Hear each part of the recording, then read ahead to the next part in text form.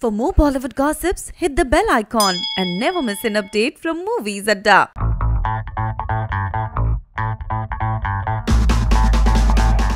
सालों पहले डेविड धवन ने फ़िल्म कूली नंबर वन बनाकर बॉलीवुड में कॉमेडी का स्टेटस बढ़ा दिया था। गोविंदा और करिश्मा कपूर की कॉमिक टाइमिंग और परफेक्ट ट्यूनिंग आज भी लोगों को इम्प्रेस कर देती है। और अब खबर आई है कि डेविड धवन इस फ़िल्म का दूसरा भाग बना रहे हैं। वेल well, तो अब ये खबर सुनते ही सबके मन में यही सवाल था कि इस फ़िल्म में लीडिंग स्टार्स कौन होंगे?